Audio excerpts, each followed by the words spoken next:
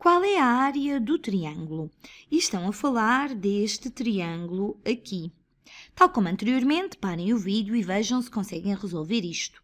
Ok, agora vamos trabalhar nisto juntos. Sabemos que a área de um triângulo é igual a 1 meio vezes a base vezes a altura. E colocamos a letra H do inglês height, que significa altura. Então, qual é que é o comprimento da nossa base nesta situação? Bem, a base é este comprimento aqui, é este valor de 18. Deixem-me sublinhar. Então, a base é 18. E agora vou colocar essa informação aqui. E a nossa altura? É este valor aqui, é este comprimento. Vamos sublinhá-lo a verde.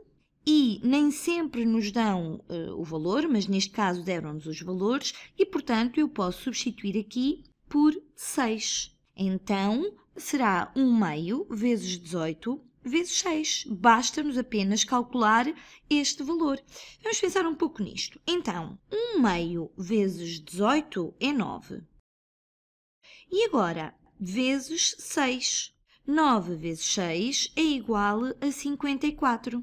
E acabamos. Isto é 54 unidades quadradas.